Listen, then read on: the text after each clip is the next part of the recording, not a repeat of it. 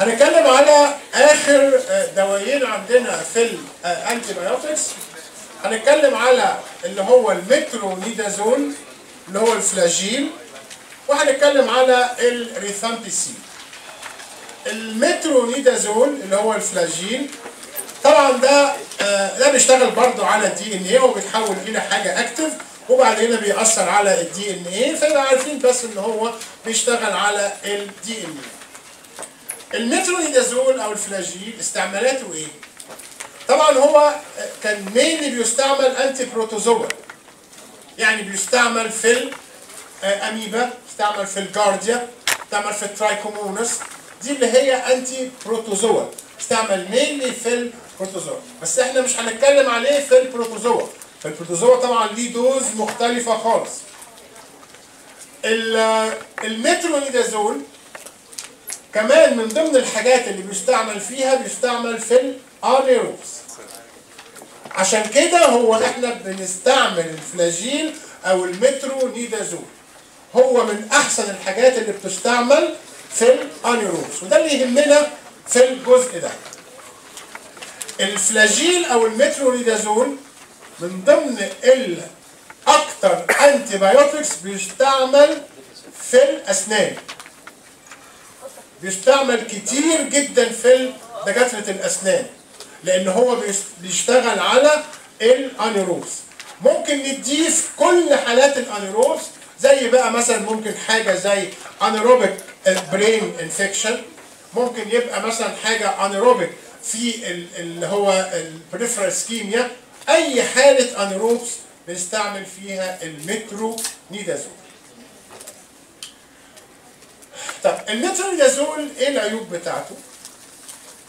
أول وأشهر عيب في المترونيدازول هو تأثيره على ال GIT وبيعمل حاجة very characteristic بيعمل حاجة اسمها metallic taste كل اللي بيعمله في ال GIT كوم وال metallic taste ده كوم تاني. العيان أول ما بياخد ال Flagyl هو إحنا المفروض لما بنديه بنديه course بيقعد ممكن يقعد معاه 10 أيام. معظم العيانين ما بيكملش بسبب ال metallic taste. دي بتبقى حاجة عنيفة. العيان طول الوقت حاسس إن طعم بقه مغير. في كده زي حاجة حديد في حاجة. فدي بتأثر جدا على المرض. سيبنا إن هو ممكن يعمل GIT disturbance ممكن يعمل شوية vomiting لكن أخطر حاجة أو أشهر حاجة فيه هو ال metallic taste تاني عيب فيه برضه بيأثر على ال CNS الناس اللي بتاخد المترونيدازول برضه يبتدي يحصل لهم CNS manifestation تلاقيه كده مدروخ شوية تركيزه قليل شوية وده هيستعمله لمدة 10 أيام. فيعني من الحاجات اللي هي برضو بتأثر على الاستعمال بتاع المترونيدازول وبتقلل ال compliance مع المريض بتاعه. في حاجة بتحصل ودي harmless بيعمل red coloration of urine أو بيخلي لون ال urine مش red ممكن يبقى dark العيان يجي يشتكي إن لون البول يعني كده على بني على طبعا أنا أنا قلت في الأول إنها harmless مفيش فيها أي مشكلة خالص. لكن بالنسبة للمريض هي إيه؟ حاجة مهمة. فالناس بتيجي تقول لك إنه أنا لون البول متغير وحاسس إن هو غامق وهو كل المشكلة من اللي هو من المترونيدازول رغم إن هي harmless بس مهمة. هي مش مؤذية للعيان. بس أنا بعتبرها من أهم ال adverse effect في المترونيدازول ليه؟ لأن دي حاجة بتقلق المريض وأنت مش المفروض إن أنت تقلق المريض. فأنت وأنت بتكتب مترونيدازول بتنبه المريض بتقول له كلمة صغيرة. خد بالك ممكن لون البول يبقى غامق شوية على بني شوية ما تقلقش منه لو ده حصل. فده مش حاجة تقلقك.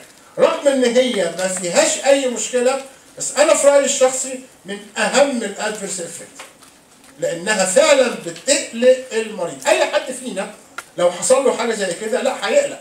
إن لون البول بقى متغير.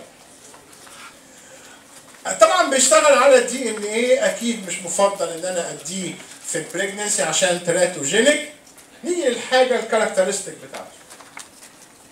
برضه هو معاه alcohol intolerance وسمعنا قبل كده الكلمة دي وعارفينها بقى. اللي هي بتحصل مع بعض ال generation أو بعض ال preparation من السيفالوسبورين. ويعني إيه alcohol intolerance إن العيان ده لو بيشرب ألكول ما ينفعش يشرب ألكول مع المترونيدازول هو برضه يعتبر enzyme inhibitor برضه هخاف على ال warfarin من ال metabolism بتاع ال warfarin يبقى خلينا نشوف المترونيدازول إيه الحاجات ال characteristic الحاجات ال characteristic بتاعته هو نمرة واحد في ال GIT لازم نبقى واخدين بالنا من metallic taste لأن دي حاجة مهمة أو characteristic في الدواء. تاني حاجة خد بالك من ال dark urine نبه المريض بتاعك لل dark urine ما تسيبوش يقلق. مش لمصلحته إن هو يقلق على لون البول اللي اتغير. الحاجة التالتة ممكن يأثر على ال CNS يعمل له كده شوية confusion و drowsiness ودي تأثر عليه وتركيزه هيبقى قليل شوية مدروخ كده. فدي من الحاجات برضو ال characteristic قلنا المترونيدازول ما يتاخدش مع alcohol metronidazole enzyme inhibitor metronidazole ما يتاخدش في واحدة pregnant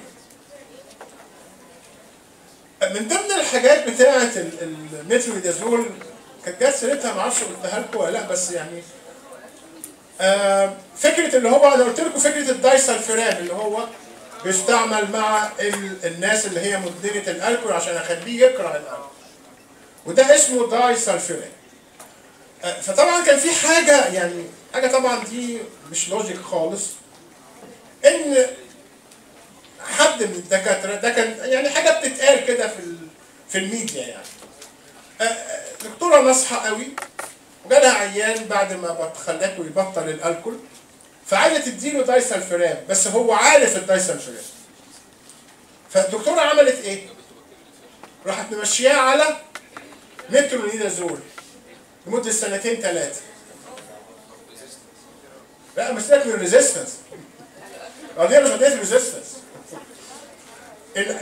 الحاجة الحلوة اللي في الموضوع إن ال- اللي كان معجب بالفكر قوي دكاترة. يعني كانوا شايفين إن الدكتورة دي عبقرية وإن هي اللي عملته ده حاجة حلوة جدا وحاجة عبقرية. مفيش حاجة في الدنيا ممكن تعمل كده. يعني إيه الم... إيه إيه العقل إن أنا أدي فلاجيل لمدة سنتين عشان يبطل الكحول مفيش حاجة في الدنيا كده. أنا اللي عجبني في الموضوع إن الدكاترة هم اللي شايفين إن هي عبقرية. يعني مش الناس العادية. مفيش حاجة اسمها كده إنك تدي عيان سنتين. إزاي يعني؟ من ضمن المشاكل بتاعة المترونيدازول إن المترونيدازول ده بيعتبر من الحاجات اللي هي ليها جينوتوكسيستي يعني؟ ما ينفعش يستعمل لفترة بالمنظر ده. آه، ده بس اللي هو النقط المهمة اللي في المترونيدازول يبقى خلينا فاكرين أنا لو هفكر في مترونيدازول يبقى عشان anaerobes مش عشان أي حاجة تانية. ملوش علاقة بأي ما نستعملش إلا في ال anaerobes فقط. لو أنا هفكر في المترونيدازول يبقى آخد بالي من ال dark urine. دي نقطة رغم إنها بسيطة بس مهمة. آخد بالي إن العيان ده ما يشربش مع ال metronidazole alcohol لأن ممكن هيعمل له alcohol intolerance دي النقط المهمة. هيعمل شوية CNS side effect ناخد بالنا إنه كمان ممكن يأثر على ال warfarin metabolism أو inhibit ال warfarin metabolism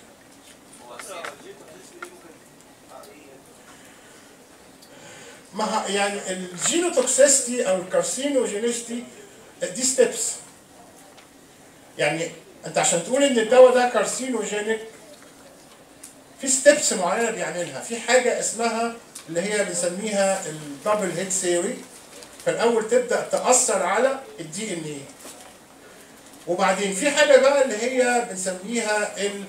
ده كده initiator في حاجة اسمها promotor بقى. يحصل ولا ما يحصلش؟ معرفش لازم تيجي حاجة تانية تعمل ال process دي. فهو proved عنه إن هو ممكن يبدأ ال process of carcinogenesis لكن مش شرط إنه يحصل منه إيه؟ cancer لكن هو بيأثر على عمل يعني هو ممكن يبقى initiator يبدأ.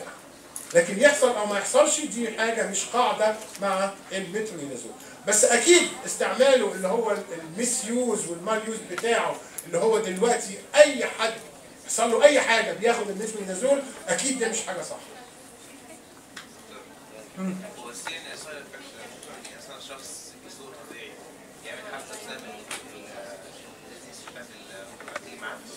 بسبب ال CNS بتاعه. ممكن ياثر على واحد بيسوق مثلا هو آه هو مش للدرجة بس لو واحد دماغه خفيفة آه.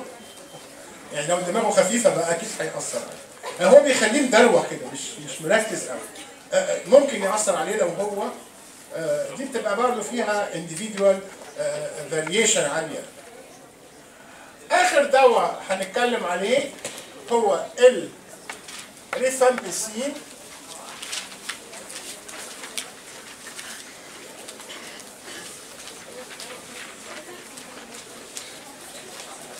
والحقيقة الريفامبيسين هو ده المفروض mainly drug بيستعمل في ال TB يعني ده أساسا واحد من ال first line اللي بنستعملهم في علاج ال TB لكن في بعض ال spectrum بيخليني ممكن أستعمله. بس هنستعمله في إيه؟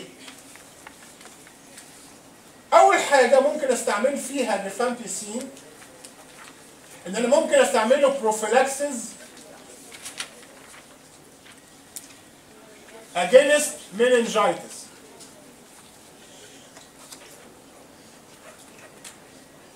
وهنا ناخد بالنا هو مش treatment of meningitis.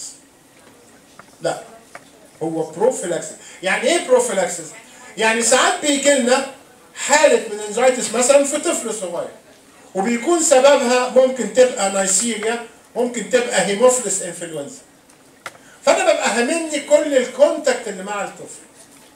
فببدأ أديهم rifampicin rifampicin عشان يحميهم من إن هم يجيلهم meningitis لكن مش هستعمله في علاج meningitis نفسها.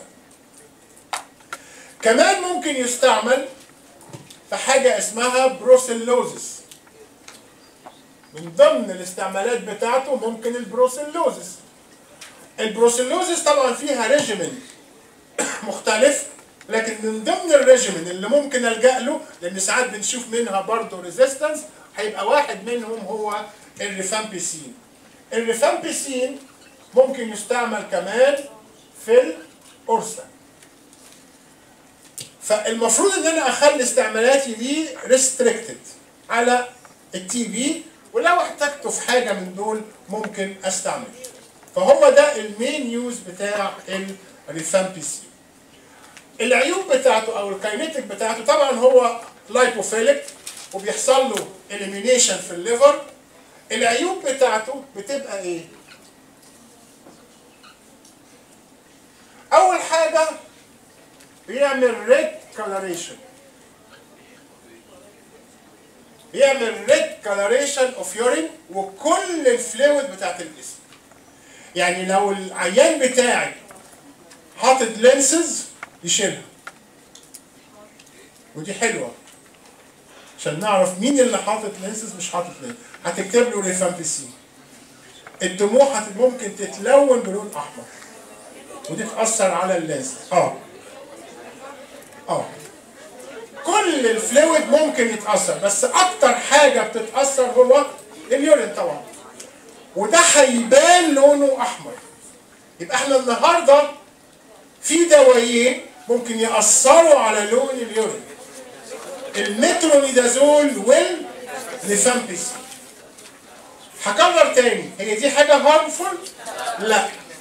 ده metabolite نازل في ال urine مفيش منه أي خوف. لكن أكيد هتقلق المريض ولا لأ. ده عنده بقى بول أحمر دموحة. فطبعا لازم تقول له شيل ال lenses. لو انت لو انت أو انت أو إنت حاطط lenses شيل ال lenses. لأن هي هت- هتغير لون ال lens تاني عيب فيه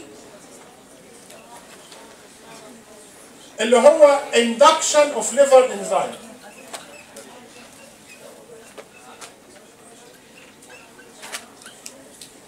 induction of liver microsomal enzyme يعني إيه induction of liver microsomal enzyme آه، تاني حاجة بيعملها بيعمل induction of liver microsomal enzyme. لو تاخدوا بالكم من حاجة ده الوحيد اللي هو بيعمل induction. مفيش ولا انتي جت سيرته إلا لما قلت inhibition. ده الوحيد اللي ابتدى يعمل induction يعني ده الوحيد اللي هيعمل إيه في ال warfarin dose هيقلل ال warfarin concentration وممكن يعمل failure من ال warfarin تالت side effect فيه إن هو بيعمل حاجة اسمها flu-like symptoms فهي ال side effect بتاعته red induction flu-like symptom يعني العيان ممكن يشتكي من زي كده أعراض برد شوية. آخر حاجة هو lipophilic فممكن يبقى hepatotoxic دي اللي هي العيوب بتاعة الريفامبيسين يبقى هو red coloration induction of liver enzyme flu-like symptom ريف بالإضافة إلى اللي هو hepatotoxicity في أي استفسار؟ شكرا.